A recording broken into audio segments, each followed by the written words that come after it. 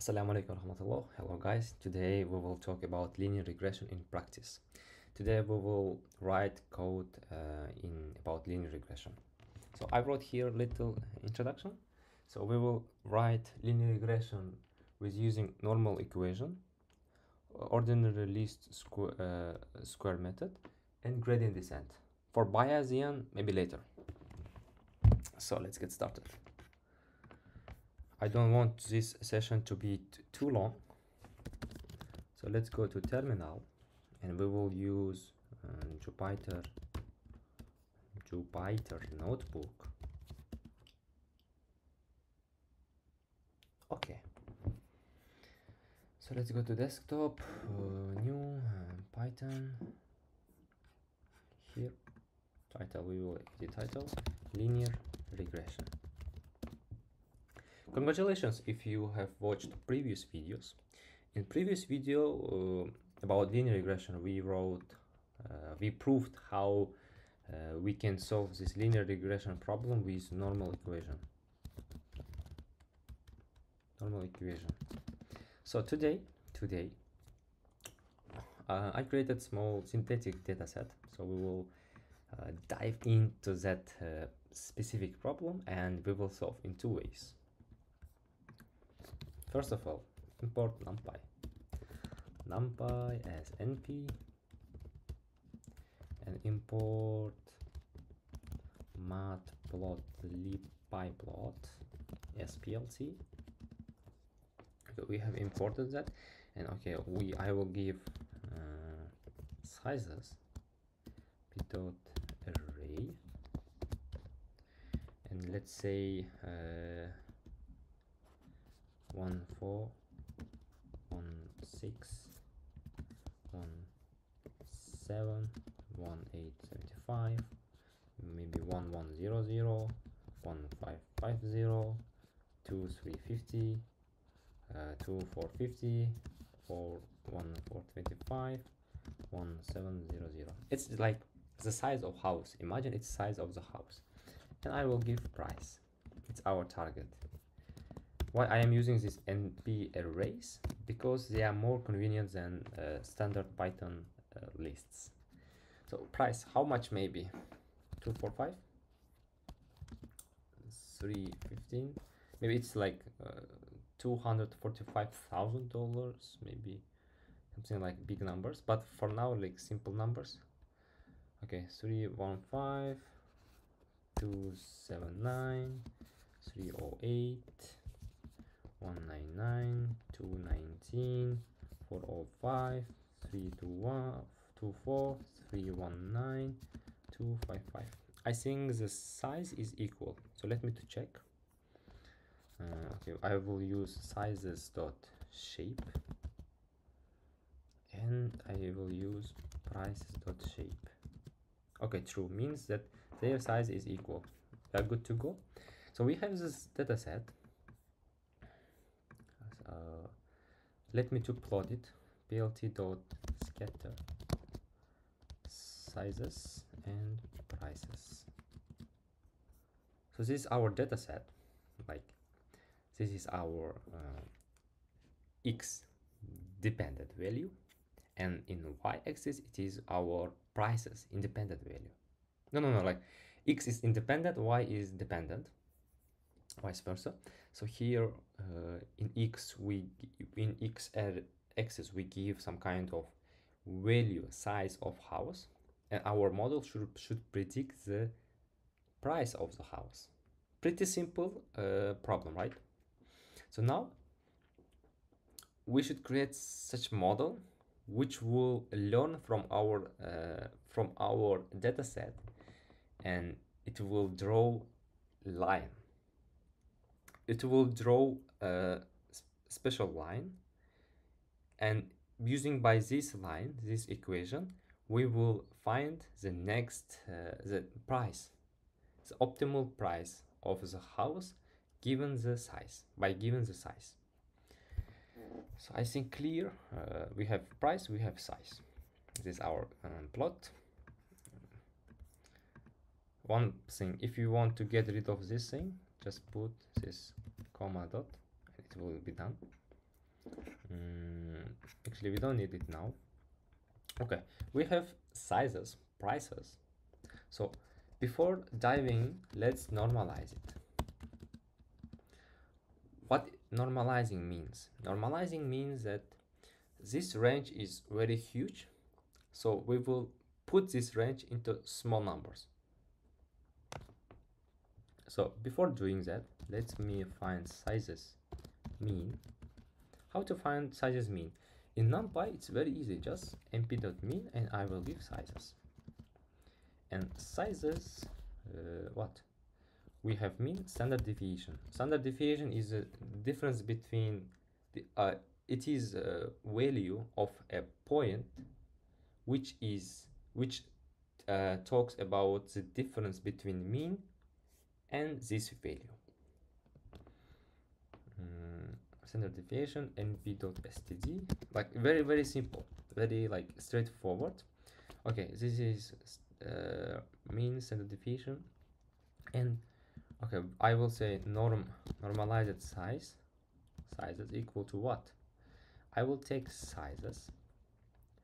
And i will subtract the sizes mean and I will I will take it. And I will multiply know I will divide I will divide it to sizes standard deviation and let's see the norm size.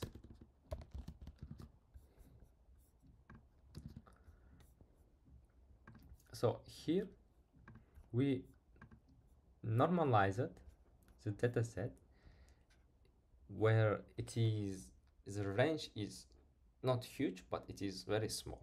Around zeros around ones around minus ones and ones. So this is very crucial and it's very good to not face uh, numerical uh, issues. So we have sizes now for prices. It's the same. Prices equal to np dot mean prices mean i'm sorry. Np dot mean prices. I will say prices standard deviation np dot standard deviation of prices. And norm price. This equal to is as we say it it's, it's the same logic. Prices minus prices mean and uh, we will divide to prices standard deviation okay that's done. It's all about uh, normalization.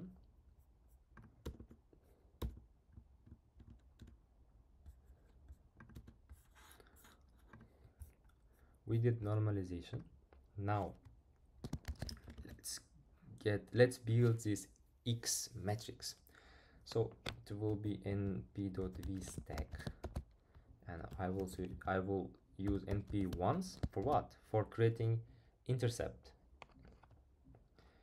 I will use norm sizes dot shape what? Shape one. Or shape one means number it means the column. It doesn't mean number of uh, it doesn't mean the number of examples but we need number of examples. So we will create this once for intercept. Uh -huh, once and then and then we will also use norm sizes. So we have one column second column. Norm sizes this one. And we want to see it. Okay that's good. And we we will make transpose. Okay now it's much more clear. So what we are doing here is that uh, we created once just for computation to to create this x matrix. Because as you know uh, y is equal to what? There is uh, x. We get x and weight right and in weight we have price and error no no like, like it's i'm making it complicated. I will say you know like this one we will say like x0 to multiplying multiplying weight 1 plus x1 weight multiplied weight 1 and and yeah weight 0 and you, we have x1 we don't have x0 we created this x0 as ones. It's intercept. So we have x now and what is y? Y is the same prices. Prices norm norm prices okay i think we have created everything we need. And let's see the plot. I will plot it. I will say scatter. And i will say x. No, no x will not work unfortunately because it is matrix now. But we will use um, norm sizes and norm prices. I think this is the same. So normalization means that uh, we will just change the range but the value the um, impact of each uh, values stays the same. Doesn't change. Remains. Okay we have scatter. So now time for time for mm -hmm. first linear linear regression with OLS or normal equation. Last time we proved that uh, in order to find these weights these weights we can use x to x uh, t.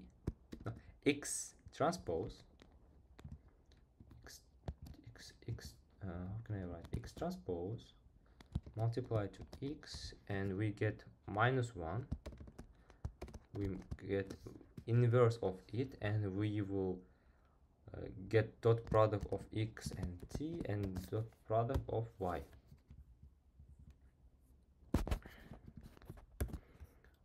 It is from uh, our last lecture. So let me to switch and show you exactly exactly how it will look like uh -huh. no this is later. So it is that we have special formula. Last time we proved that in order to find this weight we will use x transpose dot product to x.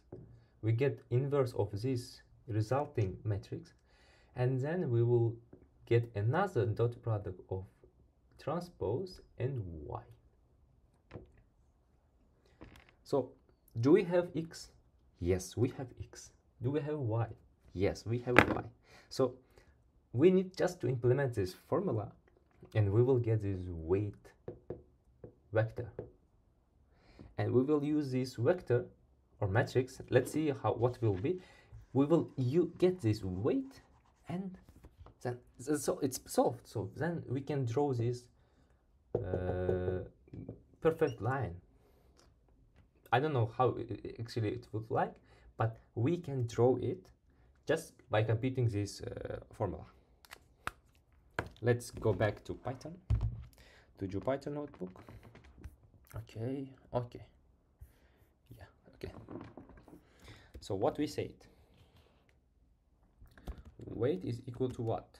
So we need to find uh, x transpose. So transpose is switching the uh, rows to columns columns to rows of the matrix. So in uh, numpy it's just we are using a method t xt and for dot product we use this at very convenient and we will use x according to formula and we get inverse minus 1 it should be minus 1 so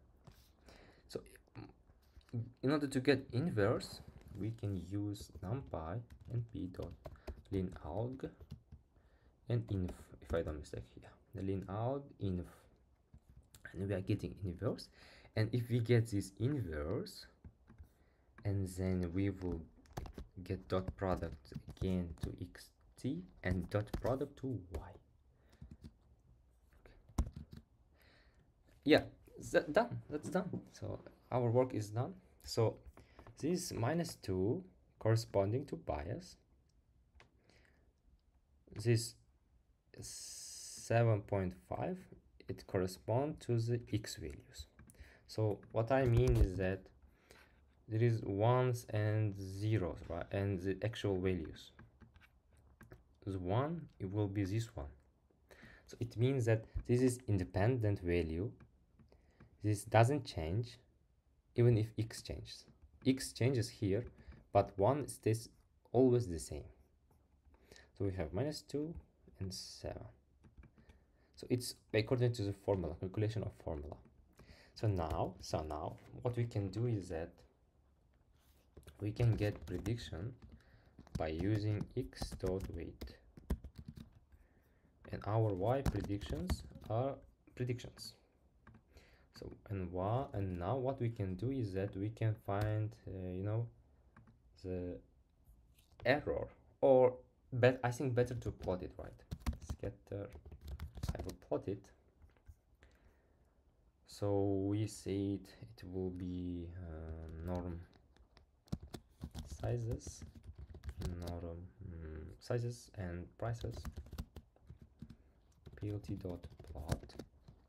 And for plot uh, we will use uh, norm sizes and so it is in normalization uh, in normalized form right? So we have norm sizes and if I plot y pred label equal to hmm, normal equation color equal to red. So let's see. So now it is in normalized form but anyway according to our uh, normal equation which I showed you previously we calculated the uh, we calculated this line. And we use this uh, we found these weights of the our model using the formula. And we apply these weights to x and we are getting the predictions. It means that next time if you want to give new value you will take the value and you will normalize it according to, according to our mean and standard deviation. And we will give that normalized uh, normal and we will uh, transform this normal transfer this normalized value into the matrix and we will give that x matrix or that we will add the one and that value and we will multiply these two values to the weights and we will sum it and we will get the prediction. And that prediction is is the prices of house. So that's about normal equation. I think it's, it makes sense.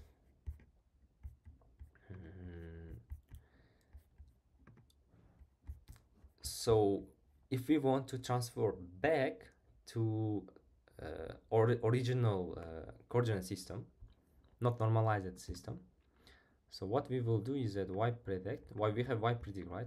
I will trans transfer this one to original one.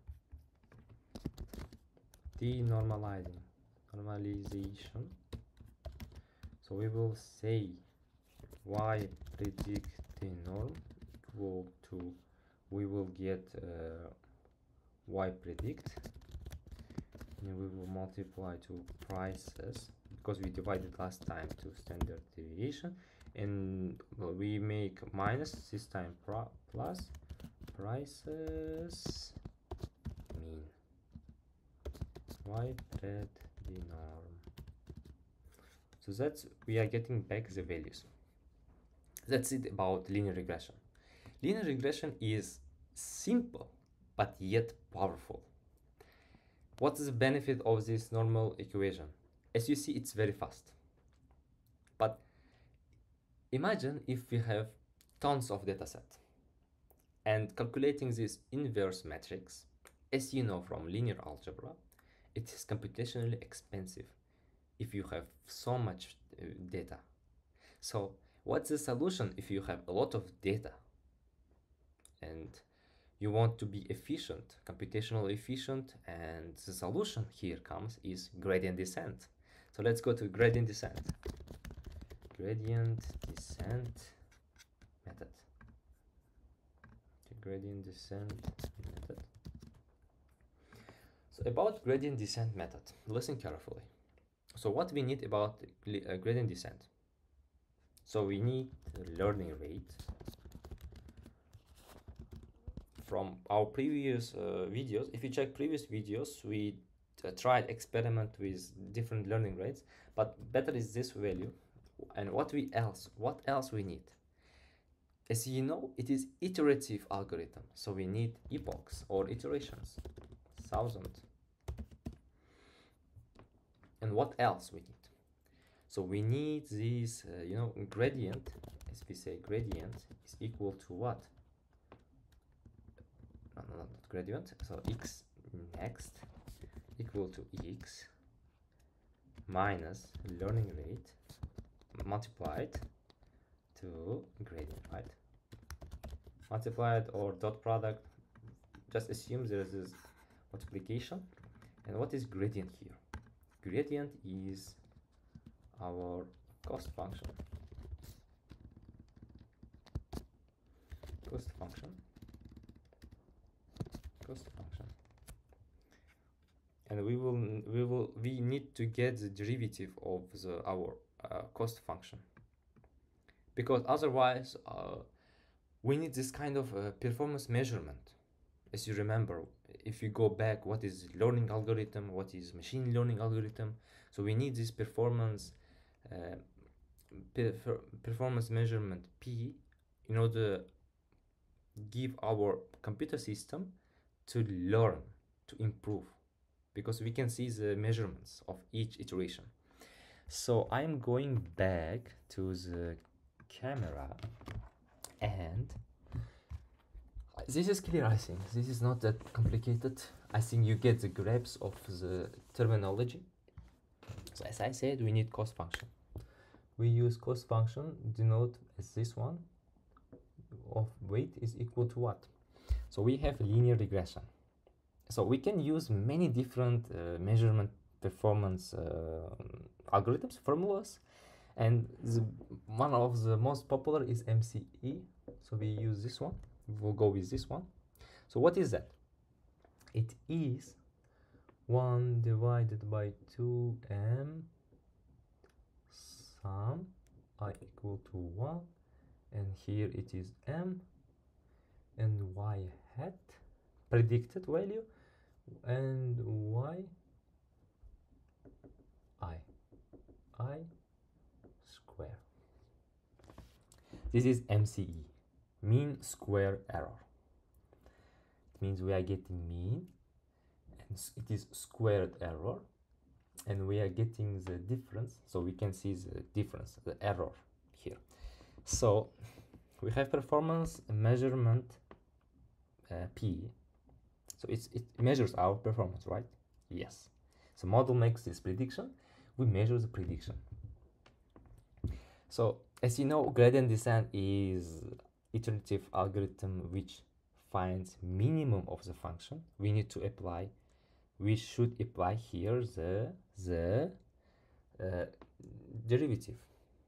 So if we apply derivative before applying derivative we can rewrite this function this equation into what form you know? So what is y? We can say this y hat is equal to x assuming x is matrix. Assuming x is matrix. And weight. So it we can rewrite it. We can rewrite it as it will be 1 2m you can see it right? And we will use x weight minus y t transpose to x weight minus y. I think it makes uh, much more sense right now. So now what we will do is that we will open it. And eventually eventually eventually we will get 1 2m x t weight t x weight then minus 2 x t weight t y plus y y t. Clear? Make sense? Okay. Now we open this and now let's find derivative of this. What it will be? 1 2m so from here we have weight weight weight square. We will get the 2 2 then it will be weight x t to x minus 2 here it is weight only 1 so we will just drop it. Because it's only 1 1 minus 1 0 and it will be 1 x t to y plus this one it is constant so we will not touch it we will omit it. So now now what will now what will happen is that derivative uh, here will be we can get 2 out of this square and we will out of this bracket and then we can uh, cross it with these two. So we will have 1m and it will be so we can get you know this one out of brackets and this one out of brackets. So we can get xt and x. It's good technique to write x and weight minus y. So this is our final final final uh, cost function gradient. So now we will apply this function to our code let's go back. Let's go back. Yeah i think like we are wasting um, so much time. Okay. Don't sleep don't sleep. So what what i have said is that def our gradient function is what? So we receive uh, we should receive weight right? So we should receive weight. And it is equal to what? It is equal to mm -hmm, m. 1 divided m is what? m is length of the is number of examples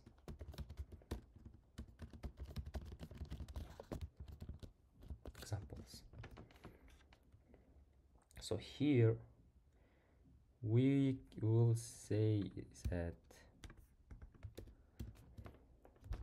for now just just assuming but not not uh, not uh, it's not final thing.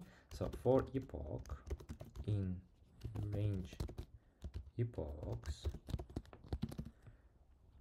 we will what we we need x we need this weight equal to weight minus learning rate. And we get the multiplication to the gradient.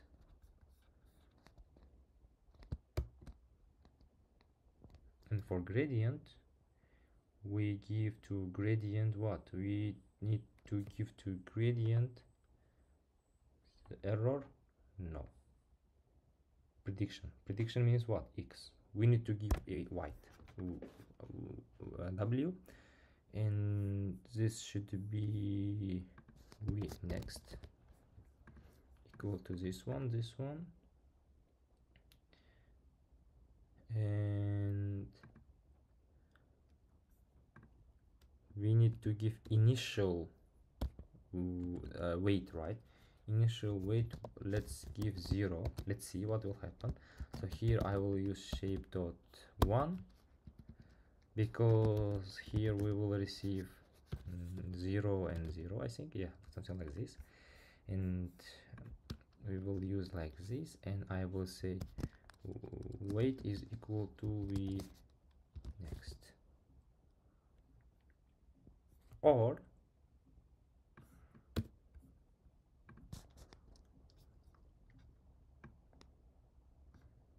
we can say like this. Maybe maybe we can say like this and if epoch epoch modulo division 100 is equal to 0 we will say print what? Print if iteration is iterations. Epoch and let's include let's include what? Let's include the cost. And I will it gradient w. So what we need is that we need this gradient function. Gradient fn. Gradient fn. So this is this weight right? According to the formula according to the formula so uh, we have number of uh, examples. So what we said is that xt right? So the cost cost is equal to um, m right? So we said m is equal to length of can we say y? Length of y yes we can say like this and i will give x and y also. M is equal to this one that's clear. We have x x transpose. We will get uh, the x uh, dot product of x and weight and minus y and we have y. So it will be cost is equal to what? Cost is equal to x. Get the dot product of this weight. And we will minus it with uh, actual value. And if we get this minus it will be the error. And this error we need to get the dot product of this with x transpose. And we will divide it to the m. Or we will multiply it 1 divided m if we have this one and we will return cost. Do you think is it good? Is it valid? We have x. So we have weight uh, we have x and y actually you know? I will show you. So it's normalized everything. We have x we have y. So i think let's try. F uh, okay here. Some small problems gradient missing two okay yeah yeah sure sure. I will give x y x y. Actually cost here you know mm, it's not actually cost it's it's gradient. So we can say the error here just error because it's gradient so we can say error you know x dot so it will be x and weight minus actual y and squared. We need squared. We need to make it square. It will be square error.